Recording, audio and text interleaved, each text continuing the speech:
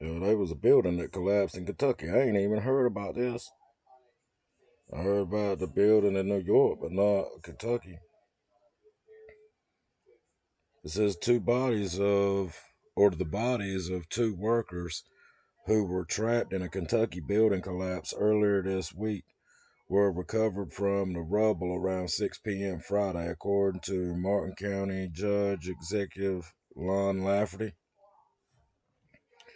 Officials said the first worker had already been confirmed dead, but a rescue effort took place around the clock for the second before he was also confirmed dead earlier on Friday.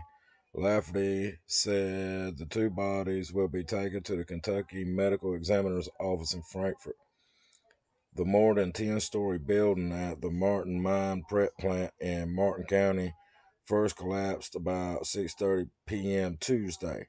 Martin County Sheriff John Kirk said the plant hasn't been in use for several years and the men were salvaging material from the building when it collapsed.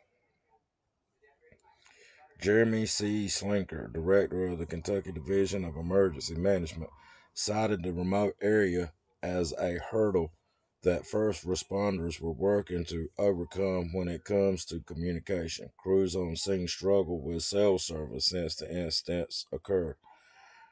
Governor Andy Beshear declared a state of emergency on Wednesday to mobilize resources to the area. Damn.